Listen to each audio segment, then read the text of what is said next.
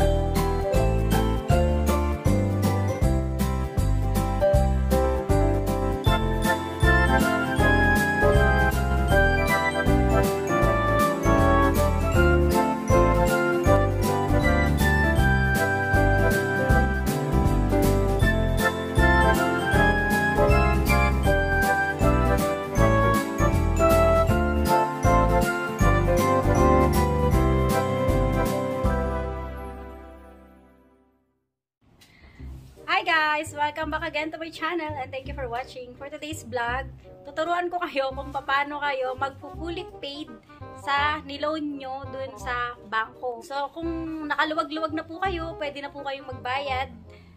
Pwede nyo nang i-fully paid yung inyong, ano po, niloan na kondo. Para syempre, di ba, bawas-bawas isipin. Ay, mali! Bawas, bawas isipin. Tama ba? Hmm. Paano ba isipin ba yon? Bawas, bawas, bawas isip. Wait nga, bawas isipin. Bawas, bawas isipin. Less worry. Ah, less worry. Less worry ka na sa mga babayaran mo, especially kapag marami kang binabayaran na unit kasi marami kang kinuha. So ito, tuturuan ko kayo, video to, video tong uh, ipo-fully paid natin for today.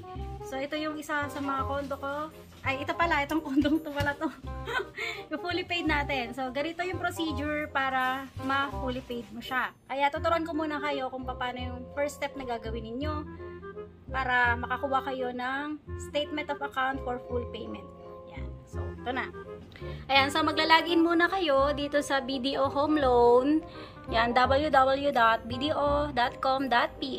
Tapos, punta kayo sa Loan Services. Tapos, pindutin nyo po itong Home Loan. Ayan, so nandito ka na sa Home Loan, di ba? Ayan, bababa ka. Hanapin mo yung mm, ano Nasaan na yung hahanapin mo? Ayan, to. Nakalagay dito, statement of account for full payment. Pipindutin mo yan. Tapos makita mo dito, release of collateral. Ayan po yung pag-release ng, ni bank ng title. Mag-request ka dyan ng schedule. Tapos ayan pa, may mga request pa. So dito tayo. Kasi ito yung focus natin ngayon. Magbayad tayo, mag-fully paid tayo sa bank. So release, as, uh, statement of account for full payment. So, request form online. So, yan. Pindutin mo lang yan. Tapos, where's the pindot? Ayun. Tapos, ayan. Nag-scroll siya dito sa taas. Agan siya. Nag-loading siya sa taas. Ayan. Pag loading sa taas, ayan yung mga pipil upan mo. So, ikaw, syempre, ano ka lang, uh, hindi naman ako corporation, individual lang ako. So, yung name ko, tapos yung yun nga, last name, middle name, tapos yung birthday, tapos kung nag-recently update kayo ng contact number, yes or no lang, tapos mobile number, tsaka email address, kasi dyan nila ipapadala yung statement of account mo, tapos yung promissory note, note nyo, promissory number ninyo, di ba may PN number kayo, yan yung ilalagay ninyo. Tapos ito, Metro Manila or provincial kung saan kayo nag-loan. Tapos, prepared date prepared day of payoff. Yan, ilalagay mo yan. So, yung sa akin kasi, every fourth of the month, yung ano ko, yung loan ko. So, as uh, inano ko siya ng 27. Dinate ko siya ng 27. So, yan. So, kung anong gusto mo, deposit on loan, due or hold deposit. Tapos, mode of delivery, yung sa statement of account ninyo kung saan yung gustong padala. Ako, email yung nilagay ko para madali ko siyang mabasa. Tapos, syempre, you need to upload yung ID ninyo dyan.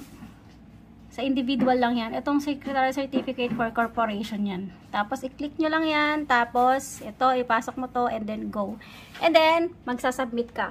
After you submit it, ano, lalabas dito yung, ano, yung, ah, uh, yung, ano mo, yung reference number nung transaction mo. Yan. After 3 days, matatanggap mo na yung statement of account mo for full payment. So, yan. So, i-email yan sa'yo. After ma-email, yan video loan.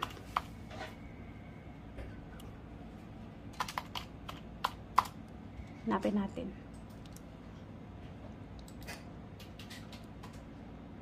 Ayan.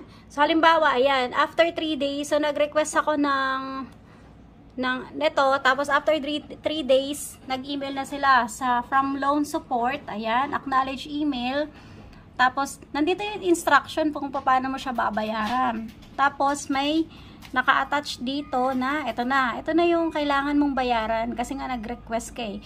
And then, on that date din, dapat mabayaran mo kung ano yung request mo. Kung hindi, back to normal naman sila. Ayan. So, ayan. So, ito, download lang natin. Tapos, syempre, kailangan ng password dyan para ma-open mo siya. So, open natin. Ayan, so nag-open na siya, 'di ba? Ayan na siya. So nakalagay statement of account tapos yung amount. So kailangan kong bayaran yung 1.9 something sa June 27. Yun yung binigay sa akin kasi ito yung ni-request ko. Tapos ito yung PN number ko, yung promissory note number. Tapos nandito lahat naka ano, so interest. Ayan siya nakalagay lahat. Nandito lahat ng details. So, kailangan ko siyang isettle. Ito. So, ngayon, ano pa lang ngayon, 21, pwede mo naman siya bayaran ng maaga. Kasi alis ako bukas. So, babayaran na natin to today. So, yan. Ito yung babayaran natin. I-ano ko lang siya. I-auto debit ko lang siya sa account ko. Yan. Ito na yung pinaka-balance ko. Ang, ang loan ko lang is 2 million eh. Naka 7 months na akong payment. So, tingnan mo magkano lang yung nabawas. So, magkano lang. 80 something lang less than 80,000 lang yung nabawas dun sa pinaka ano ko, main loan. Tapos ipapakita ko sa inyo yung schedule of payment ko. Pwede kayo mag-request ng schedule of payment ninyo ha para alam ninyo kung ano, kung nakakailang bayad na kayo, kung magkano na ba. Kasi yung iba pa iba-iba yung amount na babayaran. So ayan. Ayan. So ito yung schedule of payment natin. Ayan. So, ito, nagsimula ako December. So, June na ngayon. So, nag, nag ano lang pala ako, naka 7 months lang pala ako. Ang loanable amount ko, 2,500,000. So, ayan. Uh, hindi dito kasama yung ano eh. Ang alam ko, hindi ko sinama dito yung ano, processing fee ni bank dun sa loan. Which is parang nasa 60,000 yun. Hindi ko na yun sinami. Ang original loan ko is 2.4 million. Pero binayaran ko na lang ng, binayaran ko na lang yung 400,000 para maging 2 million lang yung loan ko. Pinababaan ko na lang. Pwede po yun. Kung may cash kayo, pwede nyo nang ano, bayaran yung iba para yung ilo-loan nyo is maliit na lang. Ayan, so kung napapansin nyo, yung principal amount, ito lang yung nabawas, so sa 12,000 sa 2 million, yung interest napakalaki. Yung interest po natin, sa umpisa talaga malaki yan. Kasi si bank, na ano sila eh, sa interest sila muna eh, si bank eh, before principal. Tapos pag patagal ng patagal pa, liit ng paliit yung interest natin. Tapos, palaki ng palaki yung kuha nila sa principal. Ganyan po yung mga bangko, interest muna. Doon muna sila babawi sa mga interest. This one, naka 10 years ako dito na loan. So, hanggang kailan siya? Ay, naka 10 years loan ako dito, pero ito yung ano eh, yung fixed na 5 years na rate. Oh, so after 5 years may utang pa akong 1,158. Ayan. So kailangan kapag halimbawa may pang bayad ka na, pwede ka na magbayad para iwas-iwas isipin mo na. 'Di ba? Konti na lang iisipin mo. And, ayan guys, pupunta na tayo ng bangko para bayaran natin yung balance natin dito sa unit. So, halika samahan nyo po. Ayan, pupunta lang kayo sa ah, branch ng bank, kung, kung saan kayo pinakamalapit. So ako BDO, so dito sa shore may BDO dito. So dito ako magbabayad. A-vlog ka, sama ka. So pwede ka magbayad ng ah, ng check or pwede mo rin bayaran auto debit or kung gusto mo ng cash, pwede rin naman, it's up to you. Pero ako auto debit, de-debit ko na lang sa account ko. Yan. Oh, hi LA. Hi. Hello.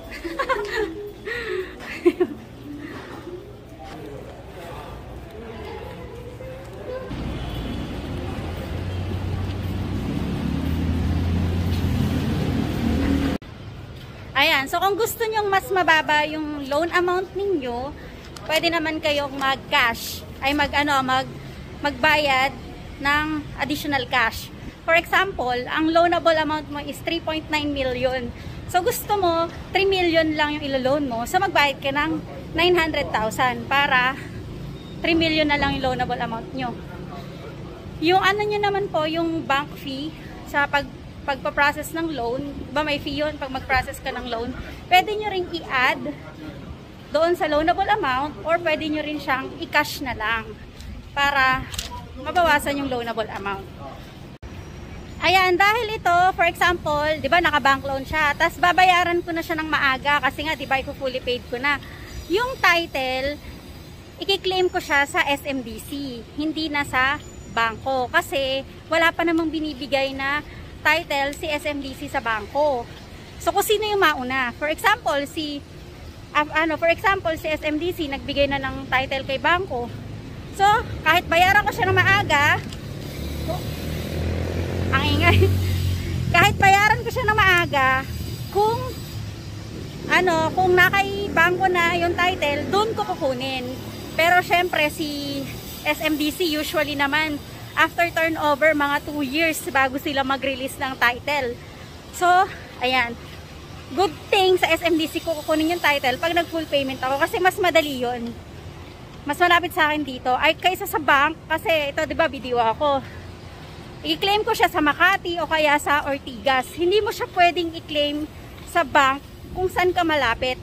Makiklaim mo siya doon sa pinaka, ano talaga, head office ng bank.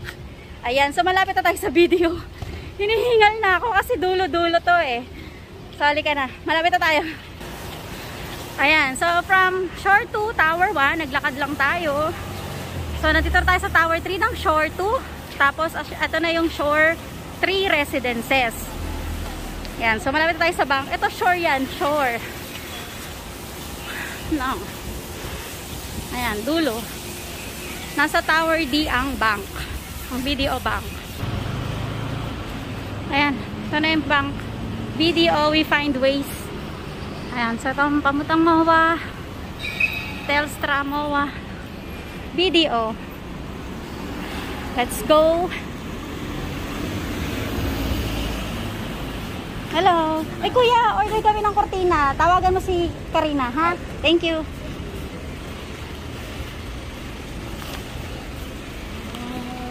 So yan, maghihintay lang tayo.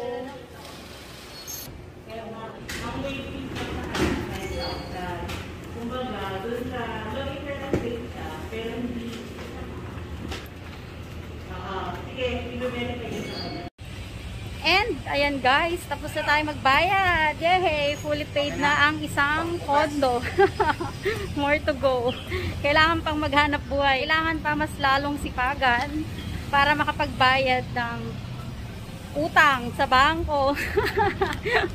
Ayan, so kung may cash kayo, huwag kayong manghinayang na isettle yung kailangan yung isettle. Kasi alam nyo, yung interest ng bank, syempre malaki din yun, di ba? Na-explain ko naman sa inyo kung paano yung interest.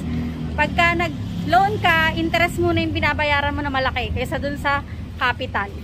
Ayan guys, so dito lang nagtatapos ang ating video today. Thank you guys for watching and please don't forget to subscribe to my channel and sa mga may unit dyan, mag-PM lang po sa akin para po maparentahan na natin, maayos yung unit ninyo at sa mga gustong mag-invest dito sa MOA area, mag-PM lang po kayo sa akin. Thank you guys for watching. Bye!